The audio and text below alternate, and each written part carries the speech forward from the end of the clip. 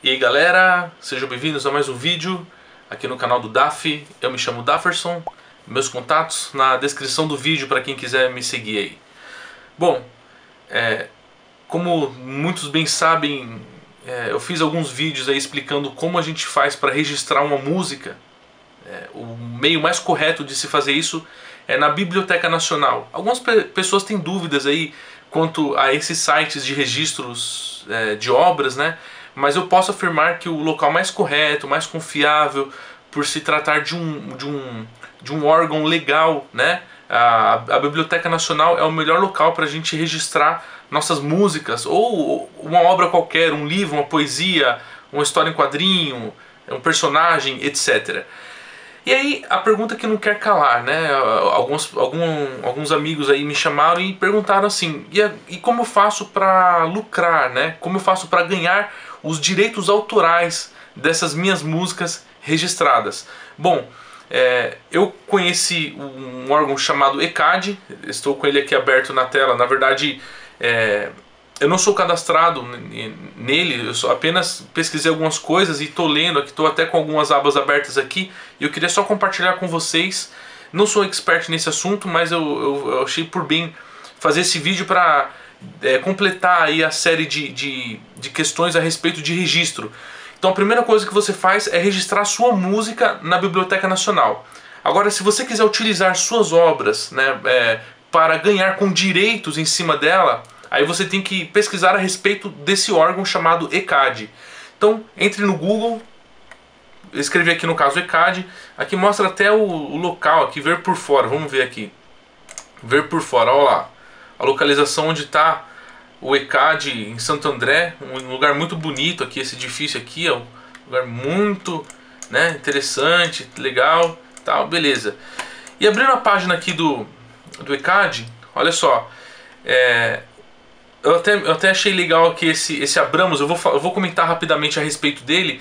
Na verdade, o, o ECAD ele tem alguns, alguns é, órgãos aleatórios é, que são associados a ele, que é onde você vai fazer o seu cadastro, né? Eu, eu tô falando a respeito do Abramos porque uma, uma cantora, amiga minha, que é compositora também, ela, ela é cadastrada nesse Abramos e ela, pelo que ela me afirmou, ela recebe direitos autorais é, com as utilizações das suas músicas, né? Então achei bem legal compartilhar com vocês aqui, né? Como eu não sou nenhum expert a respeito do assunto, é, eu, eu fiz questão de abrir aqui no, no, no Google para mostrar para vocês que o melhor lugar, lugar para vocês pesquisarem é realmente aqui na página deles, né? No ECAD. Abre lá e pesquise. Tem bastante. É, eu vi é, aqui que tem muita informação para a gente ler. Por exemplo, ó, o que é o direito autoral? Tá vendo? Ó? Então, segundo a lei, claro que eu não vou ler tudo isso aqui, mas aqui menciona-se que você. É, os direitos, é, aqui ó, conforme diz, o direito autoral é conjunto de prerrogativas conferidas por lei, blá blá blá, no qual aqui menciona-se coisas tais como criações artísticas, literárias ou científicas, textos, livros, pinturas, esculturas, músicas, que é o nosso caso aqui, né? Então a gente vê que não é só questão é, sonora, né? É, é, artistas, pintores, né? fotógrafos também podem registrar, é, receber direitos autorais dessas obras é, numa, nos mais diversos segmentos. E aqui eu separei outras abas, por exemplo, uma dúvida aqui, ó, como é feita a arrecadação de direitos autorais? Bom, não vou ler tudo isso aqui, mas é, eu queria até deixar para vocês lerem aquilo que foi interessante para vocês. É, foi importante eu, eu, eu, criar esse, esse vídeo aqui, porque é, o fato de eu, de eu, ajudar o pessoal sobre é, na Biblioteca Nacional com esses vídeos explicando como registra uma música, né? Aí o pessoal pensa que que eu sei também como a gente ganha é, nos direitos autorais. Eu não, eu não sou cadastrado em nenhum órgão do ECAD, né? Então eu não sou a melhor pessoa para explicar a respeito disso, mas eu fiz esse vídeo para mostrar que aqui ó, no próprio site do ECAD já explica tudo. Eu só vou mencionar sobre o Abramos aqui, ó. deixa eu ver um negócio aqui que eu achei interessante que eu estava lendo. Ó.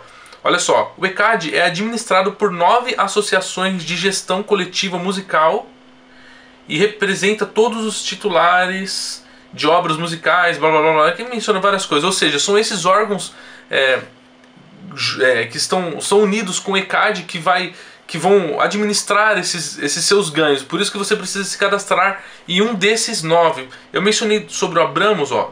Deixa eu ver se eu consigo abrir por aqui, ó. Abramos.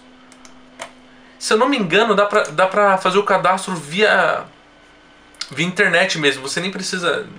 Posso estar falando besteira aqui, mas. É, aqui, ó. Serviços, atendimento. É só, é só se cadastrar, ó. Olha lá, cadastro de obras, tá vendo? Ó? Tem tudo aqui, ó. Então é só pesquisar que vocês encontram aí o que, o que, o que vocês precisam saber, ó. Como é feita a distribuição? Eu achei interessante essa aba aqui também, ó.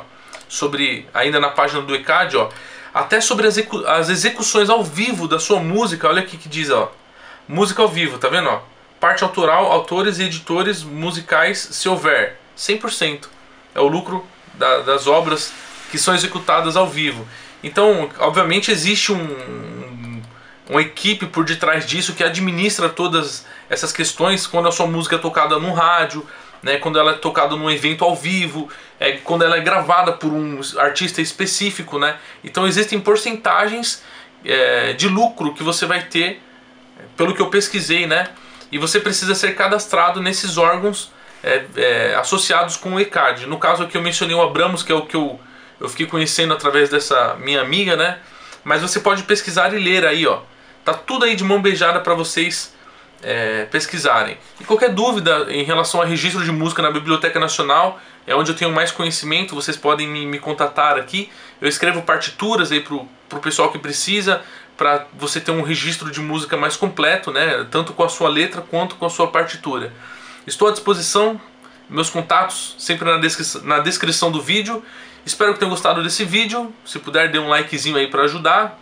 É, obrigado e até o próximo vídeo. Valeu!